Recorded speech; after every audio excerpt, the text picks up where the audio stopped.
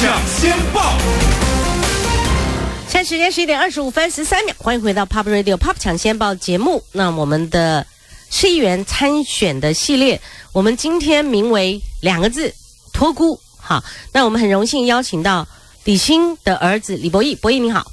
欢迎姐好，各位听众大家好。还有呃，被交付要照顾博义的戴信新议员，广景好，各位听众大家好。喜欣自己也要在松山信义区继续寻求连任嘛？是的，好，那个喜欣，你可不可以跟我们讲一下哈？新哥跟你有二十几年的交情，是你们是换铁兄弟哦。嗯他最后走了，你一路陪着博弈办理这个后事哈。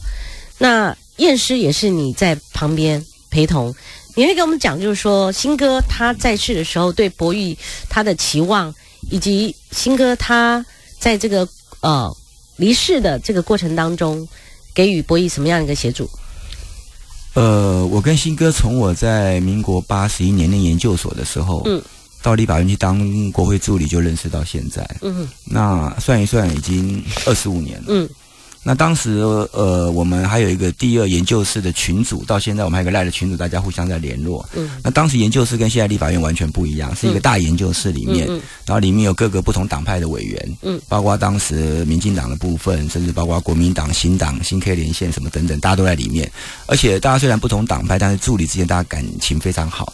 而且各位可能知道，也可能不知道，说新哥当时是在立法院还没有国会助理工会的时候，嗯，助理联谊会的时候，他就是创会的理事长，嗯然后后来带着整个助理，所以他等于是我们助理群的老大哥。嗯那也正因为这一层感情，所以二十几年来，不管过去在新党、在亲民党，甚至在零四年联宋合作之后，我们一起再回到国民党来，嗯嗯等于是新哥一直是我在政治这条路上面非常重要的一个大哥兼导师。那呃也提携我非常多，加上他的个性，他可以说是暖男的始祖，因为他非常会照顾人。是呃，就是一个很好的老大哥，那他也不吝提携后进。呃，我记得在他九月下旬，当那天早上我得到消息，知道新哥出了意外之后，很突然，嗯呃，我一时之间无法反应，也无法接受，嗯怎么会有这样的状况发生？当然，前一段时间的确知道他的身体有些状况，嗯也替他有点担心，但是，呃，发生这样的结果实在是难以置信，更无法接受。嗯所以当时事发的第一时间，我也跟博弈跟新嫂试着联络，然后也尽可能的提供他们一些帮忙。那当然，我觉得博弈特别是在这段时间，他非常勇敢的去面对这一切突然发生的事情。嗯嗯。那新哥当然对博弈一方面寄望很深，嗯。他在任何地方，不管是在我们准备议题咨询的过程当中，嗯。甚至包括他在平常地方办会刊啊或什么，他总是不不不忘，包括我，包括我们议会的同仁，甚至包括地方很多他的支持者，都希望大家多拉把博弈，多给博弈一些指导跟协助。我想对博弈意爱之情跟期许之深溢于言表，大家都可以充分的感受到。嗯是。博弈，你可不可以谈一下自己的父亲？你所认识的李欣，他是什么样的一个作风？什么样一个为人？从政之路，你认为你自己来定义自己父亲是什么样的一个政治人物？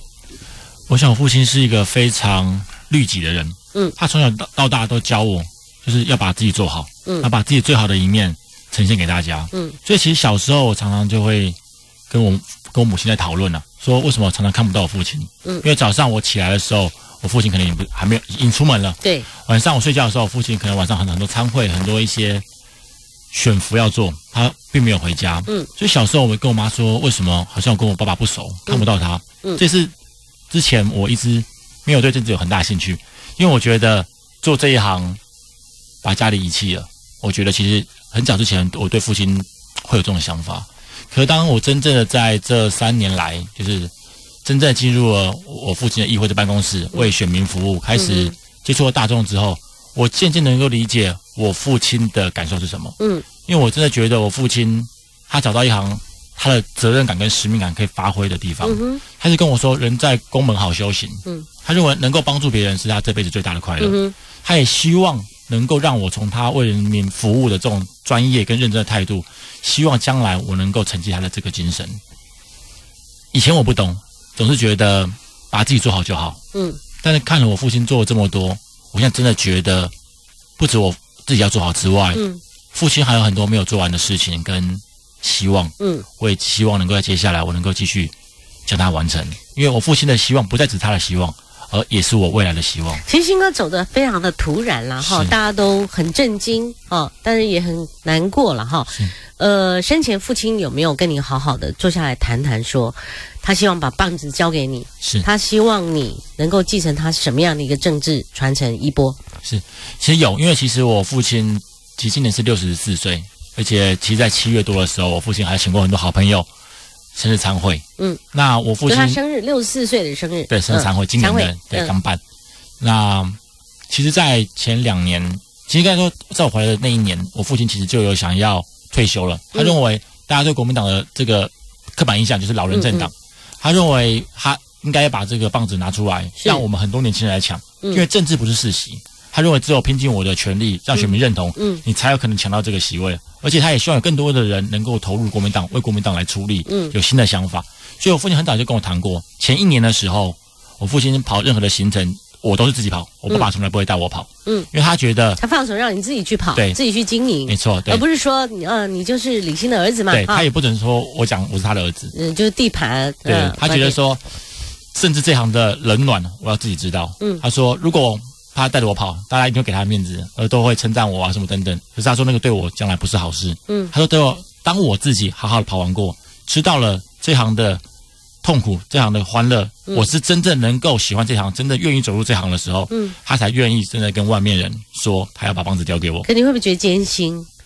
我觉得这样是累，可是过程啦，第一次没有父亲，他让你去跑，其实对你来讲，应该我看你应该是属于羞怯型的，是是一枚大帅哥呢。不不 关键可能我跟喜星哥比还差多了。对对对对，徐金 哥是已经我们所谓的老中青，我们自认了，已经是中年人了啊。啊 这个呃，不敢说你是小鲜肉，但是仪表堂堂，又高又帅了哈谢。谢王姐姐。但就是说，我们还要看内里哈。是当他放手，你第一天你你接接触群众，虽然你很早就跟着爸爸，是你也帮他浮选了，可是当放单飞，你自己要走一条路的时候，其实很困难嘛，很艰辛嘛，你会觉得？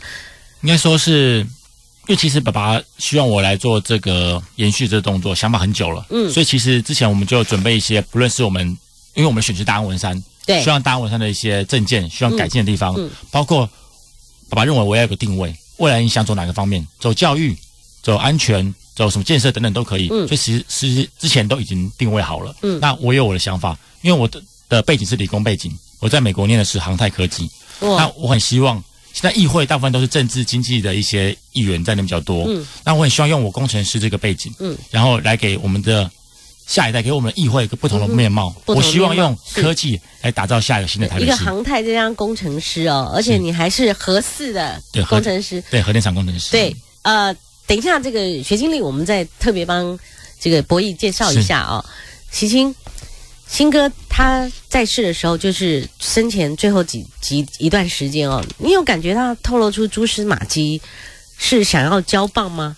有这样的一个语汇出现吗？呃，其实早在我几年前第一次看到博弈的时候，他们俩，第一次看到博弈，我有点吓一跳，因为我看他说哇，怎么这么高这么帅？这 真的是光你讲的小鲜肉。嗯，那我就看了新哥一眼，我说，哎呀，你真的是不像是新哥，不能讲歹徒出豪损啊，因为新哥其实也是帅哥一枚啊，只是比较资深一点。对对对对，那我我觉得新哥刚刚博弈说的哈，因为私底下我们都叫博弈叫多多嘛，他的小名比较亲切一点，多。多，对，那呃，新哥，我想望子成龙是每个父母的共同心愿，嗯只是说怎么样帮他铺成一条适合他自己的路，是不是接自己的衣钵？特别是可这次他却彻底的放他单飞了哈。对，所以我觉得新哥内心是不是他也会觉得说，第一个，他如果让他走这条路，是帮了他还是害了他？因为每个人个性不一样，这是做真正的自己的亲生儿子，他会这样想。就说嗯，呃，你会觉得说他适不适合？对，然后他走这条路，对他未来人生规划是他所喜欢的吗？嗯那他承受的这些压力也好，外界的打击也好，嗯，那会不会反而影响他原生本来的专业跟自己的人生的规划？我觉得这是是每个从政人物，不管你到什么年龄，你一定会为自己的小孩所感受到。所以我觉得新哥为什么会先让博弈先去自己体会，而不是用新哥儿子的身份一开始就用他儿子的身份去跑一些行程啊、嗯或活动等等，就是希望说观察他到底对这个环境的适应怎么样。那我觉得很多所谓的正二代，事实上对这个环境先天上都是排斥的。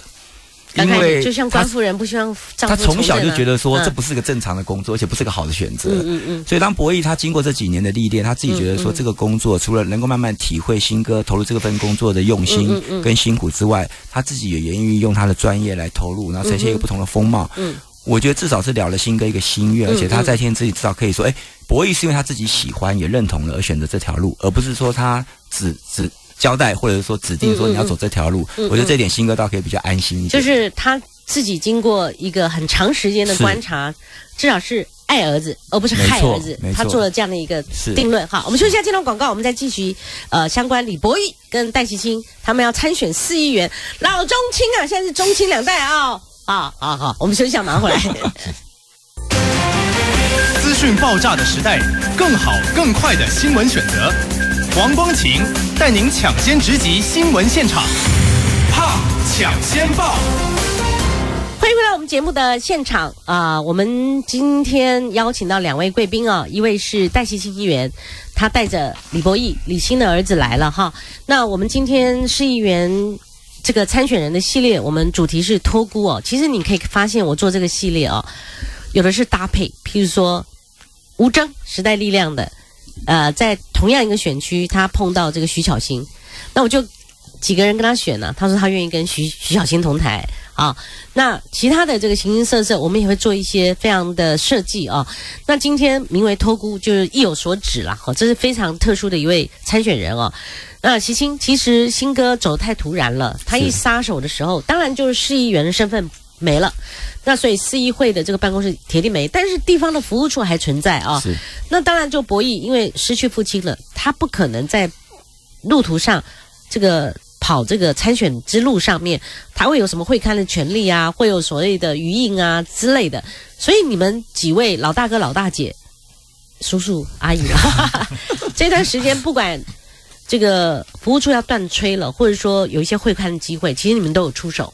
其实，因为我知道很多，包括局处的同仁、府会联络人，甚至地方上很多朋友，也都愿意继续协助博弈来做延续新歌在地方上服务的工作。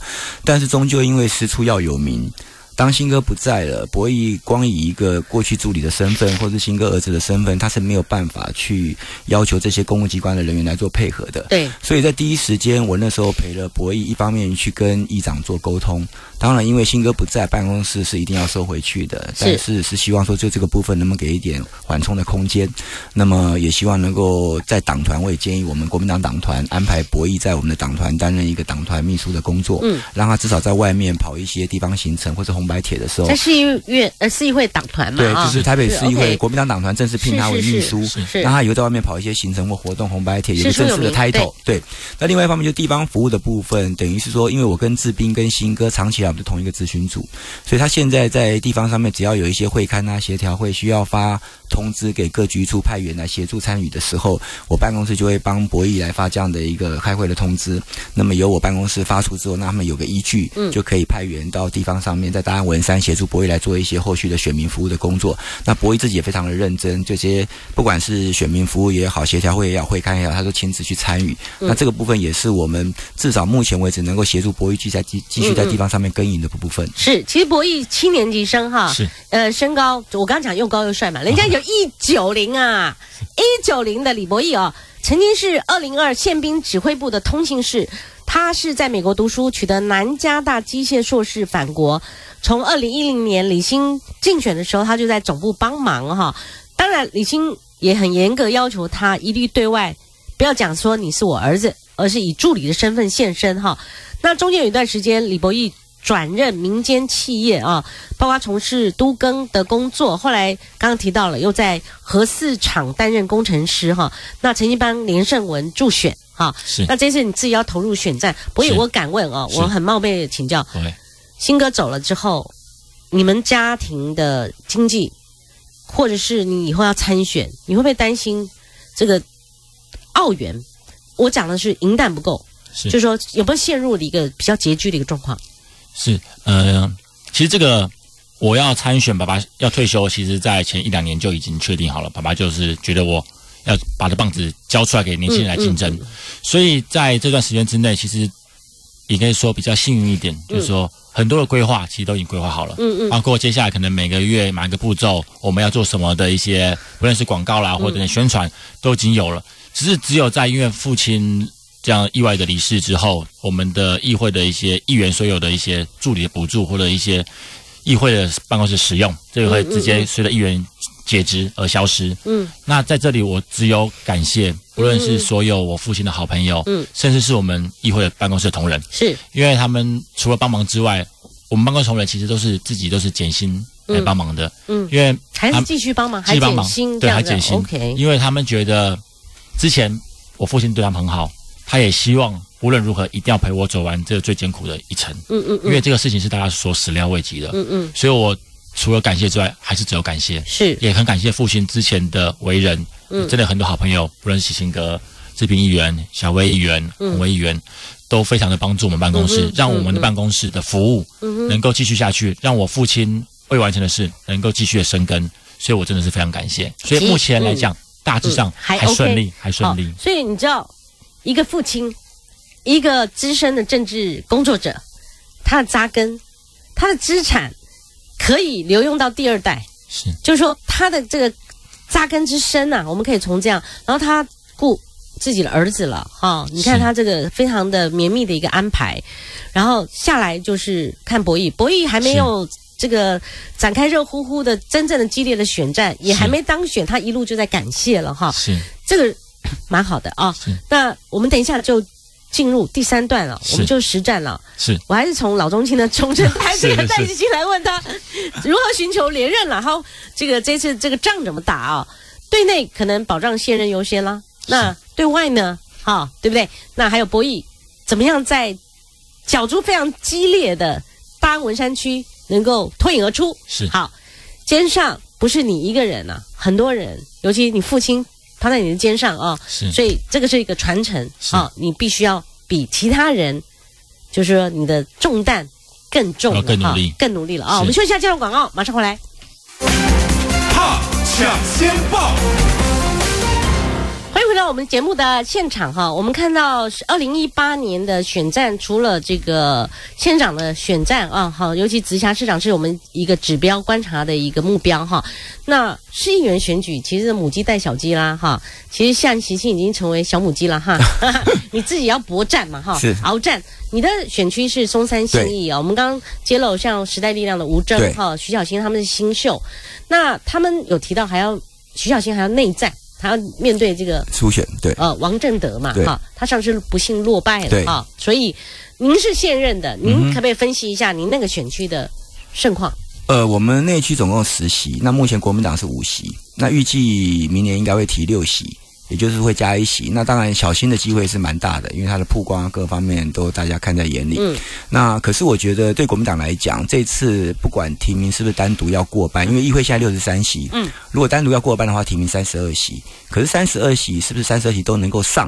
嗯或者是我们必须要独立过半，因为这个影响到下一届的正副议长选举。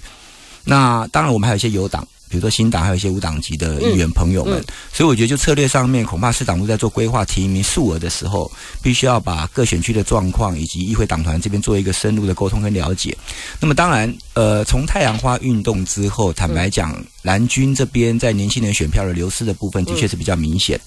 那在松山新义来讲，我们现任五席里面，我算是最年轻的，啊，所以所以在国民党有限的年轻选票里面，我算是相对较多的。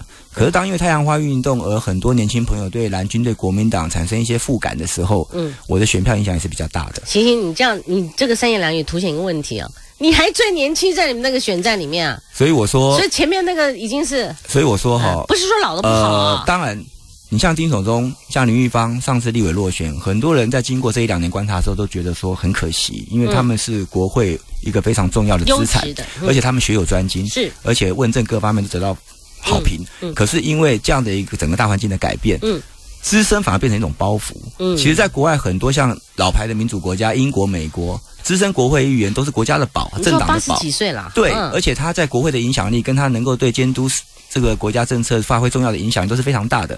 可是物换星移到台湾这样的一个选举过程当中，即便年轻人现在慢慢对国民党从太阳花运动产生一些负评，可是我觉得。最近一个新的民调发现，民进党这个在一例一休在各方面，他们在年前选票也下滑。嗯可是这并没有转到国民党来。嗯嗯反而是像刚刚讲的时代力量或一些新兴的政党得到更多的认同。那怎么样在这样的一个夹缝中求取生存？特别是台北市选民很特殊，嗯每一届选举大概都有三分之一左右的新人有机会当选。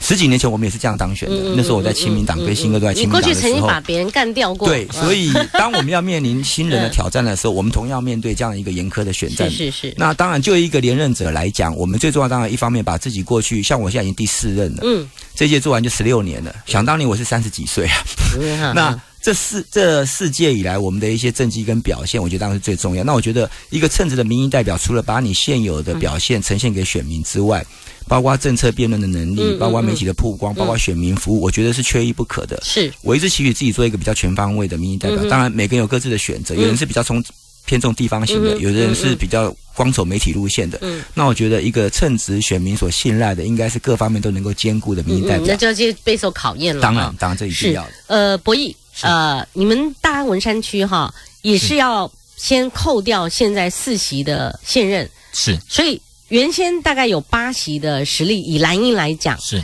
那扣掉四席就变成三四席的空间。是。可是这边除了主播转任党的发言的钟佩君，佩君也来过我们节目了啊。是。那还有这个郝龙斌办公室的秘书金大军，是。另外二代的像立耿贵芳的侄女啊，是。这旁系的嘛哈，年轻貌美的耿薇，我还没看过啊，我或许可以呃以后力邀。那再加上就是你啦，是啊、另外还有猪猪姐这边有一个选美皇后朱贞瑶哈，选战激烈啊，对空前盛况，你有信心吗？嗯，有信心。一定要有信我们一定要有心啊。选举这个没有信心，我们就没办法好好走下去，所以一定有信心那。你适用你们党内的加权计分呢、是呃，国民党这回很提拔新人啦，嗯，有新人的加权十趴，嗯。这个只要是首次参选都有，你算首次参选。我算首次，参选，呃，对。但是也不受制于对，我不因为父亲受这么走了嗯。对，不是现任的议员。那再就三十五岁以下加权十五趴，嗯。那三十六到四十岁加权十趴，加到四十岁是不是有点那个？因为党 国民党的之前的青年设定四十岁了，是是对对对对。好对，所以嗯。我还有幸，虽然没有三十五岁以下，三十六岁，但是还有十趴，好，你的这个人生政治导师、政治导师哈，除了父亲李欣之外，你现在有没有一些呃观察的目标？譬如说，我随随便出个题，是。蒋万安会不会是你的一个学习的目标？我觉得万安哥会是我们学习的目标。嗯，当然啦，我们在地方上跑，很多人说啊，万安哥很帅啊，这个气质非常好啊，这个看到他就好像看到自己的儿子一样。啊，这个这个你你不用输他哈，这个这第一环啊 啊，是，再就是我觉得万安哥的态度跟他表达的诚意、嗯热情，我觉得非常重要。嗯因为也许我们新人没有像资深的议员这么的经验那么多，但是我们要表达出来就是我们热情跟决心。嗯，因为让他让民众知道我们是真的想为他们做事，嗯哼而我们的想做事决心，让让他们感受到的时候，他们才会愿意把那个神圣的一票投给我们。嗯嗯嗯因为毕竟选举不是一个无法量化的一个东西，他这种感情的投射。他支持你，他欣赏你，嗯他就愿意给你机会。好所以我们像国民党年轻人，我相信会呈现一个新的不同的风貌。好，最后大概二三十秒，博弈，我们借着空中一语双关，跟在天上之灵的李欣，您的父亲说几句话吧。是，就感谢我父亲长时间来一直拉把我长大，而接下来的路我会好好走好，家里妈妈我会顾好，而我一定不会让您失望。您未完的想法、希望一致，我都会尽全力。我们办公室同仁一起来为您实现。好，这是李博义啊、那加上带他来的老大哥戴习清，今天非常感谢两位接受我们的访问。谢谢光晴，谢谢所有的听众。谢谢新哥，谢谢光晴姐，也谢谢大家。好，我们休息一下，进段广告，我们马上进行我们第二小时的节目内容。